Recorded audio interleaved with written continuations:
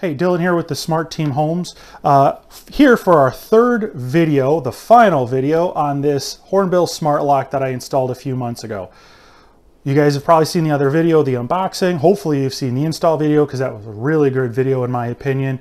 Uh, this video is a little bit of a follow-up. We've now been using it for about three months or so and just reviewing how we're liking it. So one, my wife loves it she is one of her favorite things. In fact, we were at a party uh, two nights ago and she was telling friends how easy it is. So we have a couple of different ways to get in the property.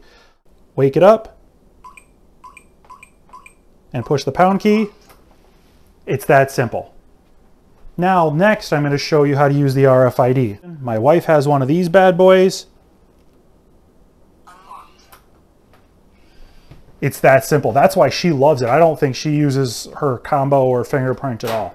So that is the RFID. Next up, I'm going to show you how to use your thumbprint. That is a little weird if you get it off kilter a little bit. Sometimes it takes a few tries. Hasn't been the most reliable, but it generally works. I think I'm probably like putting my thumb on it funny, and that's what I have it set up for.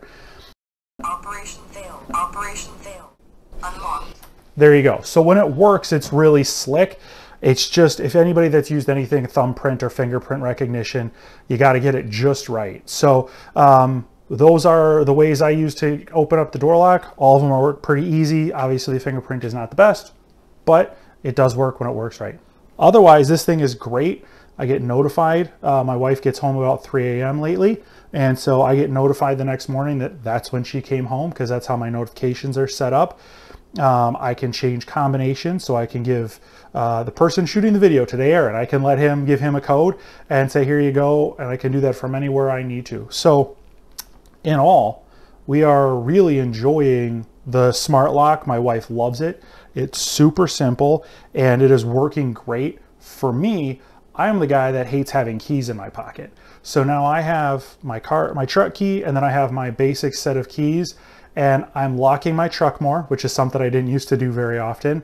The house is easier to lock, and, in general, our life is a little more secure. So I would give this good thumbs up. It's a great smart lock. I'd recommend it to anybody else, and it's been doing a really good job. So appreciate you tuning in. Hopefully you found this helpful. You can find this product on Amazon. We're dropping links in the comments, and obviously find us on our uh, Facebook page as well as subscribing to our YouTube page. Hopefully you like all the information and thanks. It's Dylan at the Smart Team.